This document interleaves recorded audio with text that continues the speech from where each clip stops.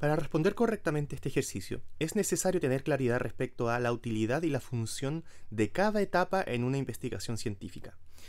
Dice aquí, un estudiante quiere determinar cómo varía la intensidad de corriente eléctrica en un circuito cuando las resistencias están conectadas en serie en comparación a cuando eh, estas mismas se encuentran conectadas en paralelo.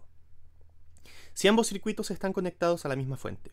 Pregunta, y esta es la parte fundamental. ¿Cuál de las siguientes estrategias sería la más adecuada para resolver su duda? El objetivo es determinar cuál es la estrategia más adecuada para resolver su duda, para resolver su duda.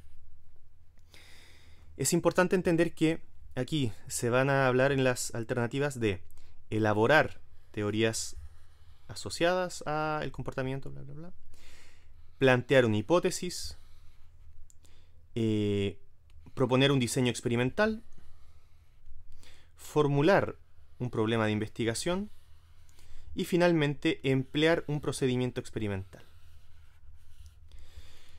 Es importante entender, insisto, cuál es la finalidad de cada uno de estos procesos. Cada uno es necesario para realizar una investigación científica adecuada. Sin embargo, dentro de todas estas opciones hay una sola que es la más adecuada para resolver la duda, para resolver efectivamente esta duda de cómo varía, cómo varía la intensidad de corriente eléctrica en un circuito cuando las resistencias están conectadas en serie o en paralelo? Esa es la pregunta. Entonces, para resolver esa duda, para efectivamente ser testigos de cómo es que afecta la forma en la cual están conectadas las resistencias, cómo eso afecta a la intensidad de corriente, más allá de la teoría, más allá de la hipótesis, más allá del diseño experimental y más allá del problema de investigación, que reitero, cada uno de estos pasos son importantes y son necesarios, la que permite resolver la duda es emplear el procedimiento experimental, es el hecho de experimentar, es el hecho de medir, ¿sí? es el hecho de eh, realizar la experiencia.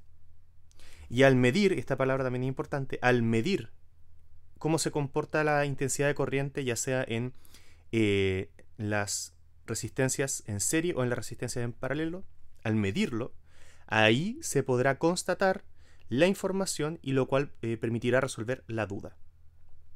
Por lo tanto, en este caso, la respuesta correcta que mejor permite resolver esta duda sería la letra E, emplear un procedimiento experimental para medir el comportamiento de la intensidad de corriente.